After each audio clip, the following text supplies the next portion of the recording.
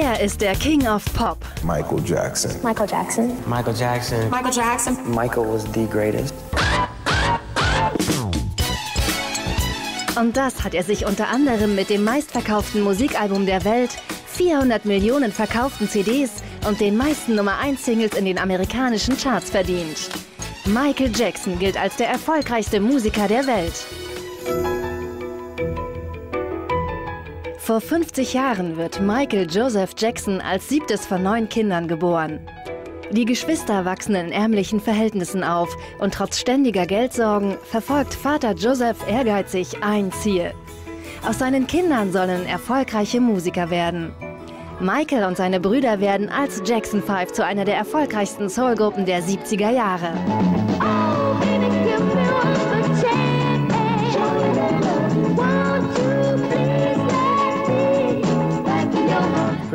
Das ist wirklich beeindruckend. Wie kann ein kleiner Junge schon so viel Soul in seiner Stimme haben?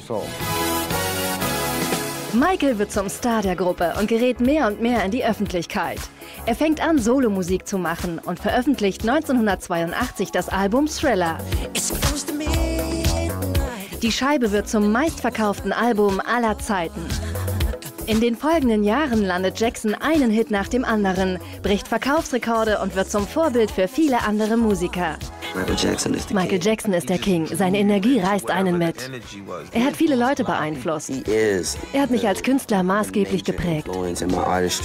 Niemand wird je wieder so viele Platten verkaufen. Es wird niemals wieder einen Künstler wie Michael Jackson geben. Er ist der ultimative King. Ich hoffe, dass ich irgendwann einmal etwas so Großes erreichen kann.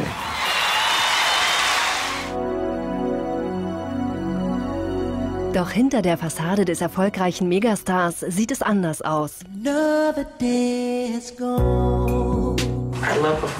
Ich liebe die Bühne. Ich würde sogar dort schlafen. Aber dort sind Sie doch nicht der reale Mensch Michael Jackson.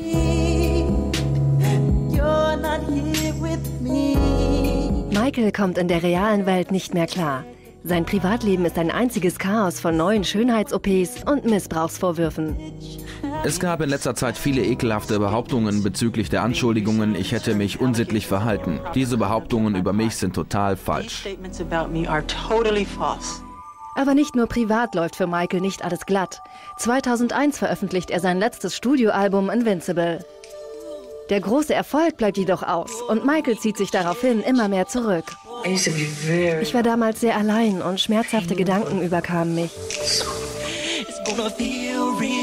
Doch das Interesse an seiner Person reißt nicht ab. Und immer wieder gibt es neue Skandale und Gerüchte über ein mögliches Comeback.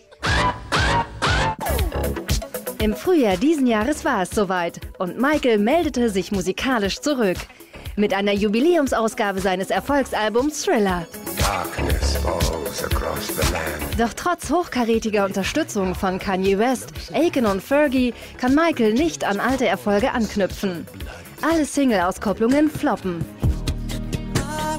Zuletzt schafft er es nur noch mit Gerüchten um eine weitere Nasen-OP oder mit Bildern, die einen abgemagerten Jackson im Rollstuhl zeigen, in die Schlagzeilen. Trotz allem ist und bleibt Michael Jackson einer der wenigen großen Megastars unserer Zeit und ist eine lebende Legende. Zu seinem 50. Geburtstag bleibt ihm nur zu wünschen, dass er trotz aller Tiefschläge weitermacht und irgendwann zu sich selbst finden wird. I love you. Thank you very much.